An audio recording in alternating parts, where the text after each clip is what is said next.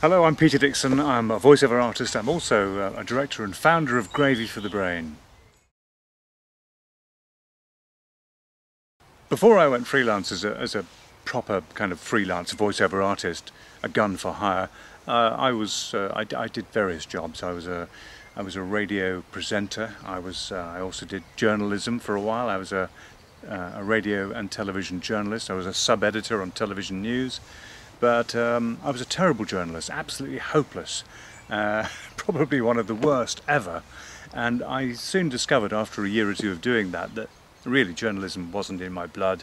I wasn't terribly good at it. In fact, I wasn't good at it at all. Uh, but, but what I did discover, and this is always a process of discovery in any anything you do in life, is that you you try different things, don't you? And then you you eventually find something that you're naturally attracted to, and you're either you know you're good at it naturally or you, you get trained to a point where you're good at it. So I was attracted to, uh, to presenting work, to being a DJ, a presenter, newsreader. Um, and then the natural kind of progression from that place is to, you know, branch out even further and do voice acting uh, in computer games, for instance, which I did quite a lot of and I also do a lot of corporate work as well, a lot of corporate audios and what are called now video corporate explainers, where we, you know, companies will engage you to explain their new product or service. Uh, and I, I, began to sort of absorb all this and learn as much about it as I could, and that's how I really got into it. Uh, and uh, I've had a fantastically long career doing what I love, which is you know, the place where you really want to be, of course, doing what you love, then every day you get up and go to work, it doesn't feel like work. It feels like you're actually just doing your hobby and people are paying you to do that. So um, I, uh, I would say that um, I've found where I want to be. Uh, it took a while, but I'm now doing what I want to do. And in fact, it's the only thing I can do. I'm probably unemployable in any other capacity. Well, I started my, well, my interest goes back to when I was about four, and I really loved listening to the radio, even at four and five. My father had a radio set, and I used to listen to uh, all the old radio shows on, on, the radio and loved hearing those wonderful voices coming out of the radio set. And one day I said to myself, um, I would like to be doing that work. I wanted to get into the radio and do that, do what, do what, uh, what I heard those people doing. So I, I had to work out a way of doing it. Now, I, I did a degree, I went to university. There weren't any media courses in those days, so I picked a course. Uh, I think I picked the first thing that sort of jumped out at me, which was psychology. I don't know why. I was quite interested in psychology, I still am. Uh, and I did a degree in psychology. And while I was at university, I, um, I started working on the uh, City Hospital radio station. I started helping out initially, and then eventually they gave me gave me my own show, which was brilliant. So I learned a lot about you know working on microphone, playing records, interviewing people, um, and so on. So I, I started. That's where where it really started for me. It wasn't a job as such. I wasn't paid for it. It was a totally voluntary thing. And then I moved into um, working for um, a radio station called BBC Radio Ulster, uh, which was a regional radio station back in the day in Belfast, still there. Um, and I, I, joined the, the radio station while I was at university, funnily enough, and uh, did part-time work for them. And they did pay me for that. Uh, not very much, but it was my very first professional job, was working as a radio announcer, reading the weather forecast uh, and reading the news and doing very odd announcing duties here and there. It was wonderful experience and um, I continued doing that for about I think about four or four years or so and then I moved to London to BBC Radio 2 where the journey continued for another 10 years with the BBC.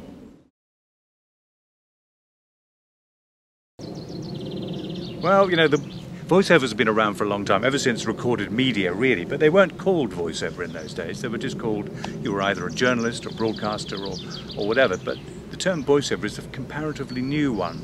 Um, and so when I used to tell people I was a voiceover artist, they would look at me quite blankly, and nobody knew what it was.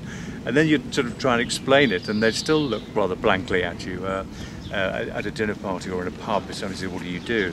But now I think you know um, I don't know why. Perhaps it's because uh, you know we all we talk about it a lot more. There are a lot more people doing it. it it's um, it's a term that is now more familiar. So when people ask me what I do, uh, I'm very happy to say I'm a voice artist. In fact, I probably tell everybody I meet that I'm a voice artist, and they are naturally curious, and they are they are always very keen to find out you know what programs I've worked on, what projects I've done. And, uh, and I'm very happy to talk about it because you know talking about it to people who aren't in our business is actually um, aside from giving them, giving them your business card, is a great way of promoting what you do as a business because you can um, you can tell somebody what you do and then they'll go away and maybe three months later, six months later, or even years later, they'll remember uh, when they need a voiceover artist. Oh, I know there's a guy who can do that, and they'll get in touch with you again. So, yeah, telling people what you do is great, but I think probably I probably talked about being a voiceover comfortably about 15 years ago when um, it was kind of becoming more um, commonplace, if you like. I think being successful in any business, I mean not just voiceover, but anything, is a gradual, a very gradual process. I'm not a big fan of overnight, overnight success because um, it doesn't equip you for the long haul. And like any skill set, any skill that you want to learn, it takes a long time, particularly with voiceover and, uh, and voice acting. It's uh, such a huge subject. There are so many things to learn, not just about marketing, but about engineering your own sessions, recording, how to edit, how to deliver the lines, knowing how to deliver those lines, how to interpret other people's copy, etc., etc., etc. It's a vast subject and one I'm still learning to this very day. Well, when I was working for the BBC, um, at BBC Radio 2, I had nine, ten years there, uh, a chap I worked with called Ian Purden, he was the editor of the, of the BBC Radio 2 announcing team, and uh, I said to him, I broached the subject with him, I said, look, I want to go freelance, I want to, you know, go and do more of this stuff outside of the BBC, and the BBC contracts back then were quite tight. I wasn't able to do any commercial work, for instance, because being a newsreader on the on radio meant that um, there may be a conflict of interest one day if there was a story about a, a, company that I was the voice of, some negative connotation, you get the picture. So I said to him, um, look, um, I'm, I'm, thinking of jumping ship and going freelance. And he said, well, look, I'll tell you what I'll do for you. He said, I'll give you, you know, a cushion so that at least you've got some income in case it all goes wrong. And if it does go wrong, you can come back. So he was very generous and I owe, owe him a great debt of gratitude. So I did maybe two or three four shifts um, a week or a month. I can't remember what the actual regularity was, but it was enough to allow me to leave the BBC and go and seek uh, other work and spend my time doing that. So I'm uh, I'm delighted that that was uh, something that the BBC allowed me to do, and that's how I then made the transition into full-time voiceover. Eventually, uh, my freelance voiceover work took over.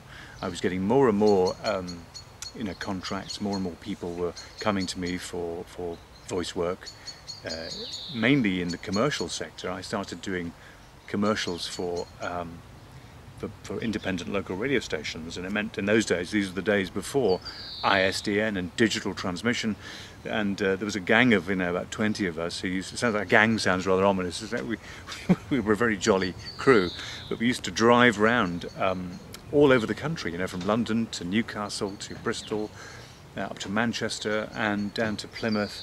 And we'd visit these radio stations and you know, you'd walk in the door, they'd put a cup of coffee in one hand and a sheaf of scripts in the other and you'd just read maybe 20, 25 radio commercials in your own natural voice, some of them, some of them demanded character voices.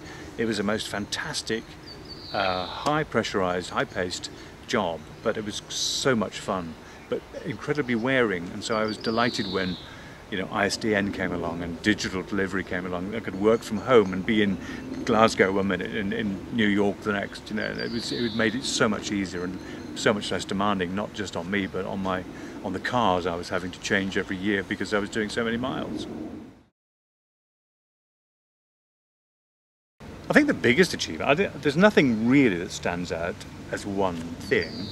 But the biggest achievement, if I was to be, you know, if I was to introspect and be honest about it, I think it would be that uh, I've managed to survive so long. you know, it's been um, it's been surprising to me, really. I, I didn't think that I would ever end up doing this as a full-time job. If you asked me, if we went back and interviewed the 24-year-old Peter Dickson, I would, I would be uh, aghast, not aghast, not the right word, I'd be astounded. That's a better word, isn't it? Astounded, really, how much I've done and where I've been and, and who I've worked for and all the different lovely people I've met and wonderful projects. And not only that, but I've managed to make it my living. I've earned good money doing it. It wasn't always the way. Uh, in fact, it was. Uh, there were several times in my career where I almost felt like giving up, and there was no network as there is now. We'd no gravy for the brain. There was no uh, email networks. There were no, no Facebook groups. There was nothing, and so we just had to rely on each other, our own little band of friends that we, we, we met and knew. But there were times when it was tough, you know, and I, I was uh, I didn't know how I was going to pay my mortgage. It was uh, it was difficult uh, in on some occasions. But uh, you know, if I was just being brutally honest, I'd say, well, I'm still here. I'm survived. Uh, I'm still surviving. I'm still working um, every day in this business, and uh, I absolutely love every second of it. So um, you know, I'm, I'm I think that's the one thing I'm most pleased about, really. I'm trying to think of something now that would be clean.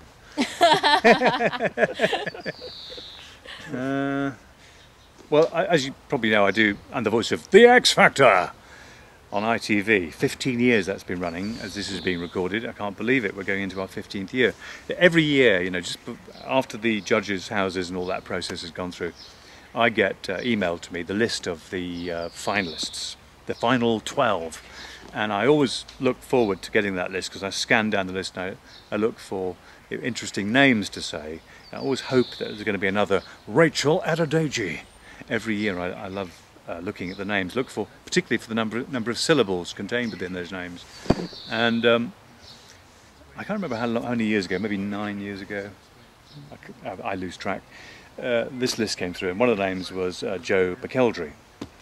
So I, he was he won the X Factor that year, and I I um, I record these names in advance, so they use them throughout the whole series. So I read out the name uh, Joe McElderry several ways, uh, and with all the other name, all the other 11 names, just sent it in, and uh, the show went on air. The final happened. I went down to the final, went to the uh, after show party afterwards, and Joe McElderry's father came up to me, and he said uh, you know, you've uh, you've got our name wrong. And I said, I, I didn't realise I got your name. What, what is your your name's Joe? Your son's name is Joe McElderry, isn't it? He said, No, no, no, it's Joe McElderry.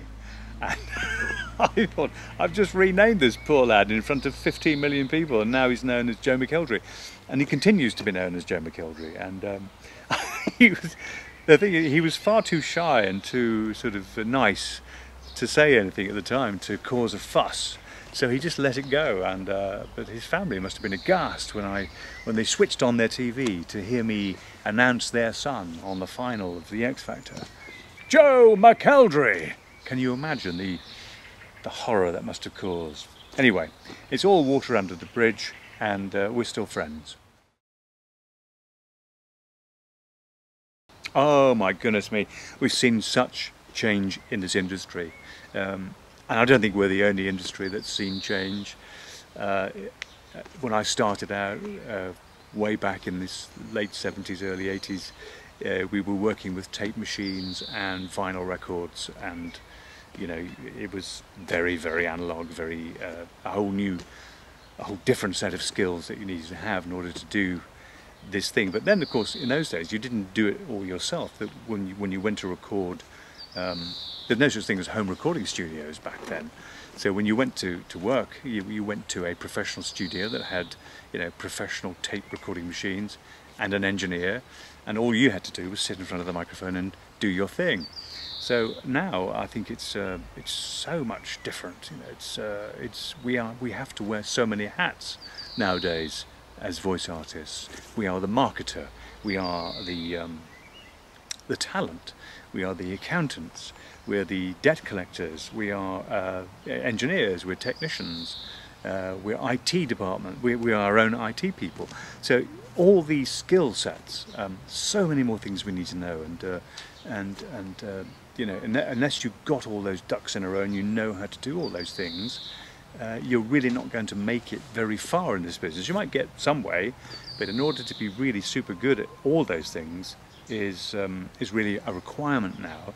Uh, and so that's why Gravy for the Brain exists to teach people all these different skill sets that you need to do these things. And if you're not prepared to do them, well, get out of town. So the favourite thing is you're your own boss, first of all. You dictate when and where you work. Um, you take holidays when you want. I don't have to ask anybody if I, I, need to take a holiday.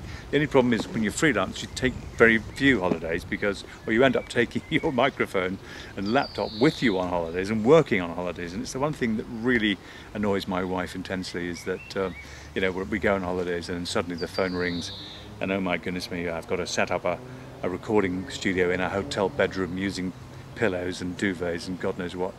Um, but it's important, uh, even, no matter how inconvenient it is, it's important to maintain those um, relationships with your clients and they don't work to your you know, agenda. Uh, they need you then and so you've got to you know, deliver the, um, your, your service to them when they, when they need it. Otherwise they'll go somewhere else.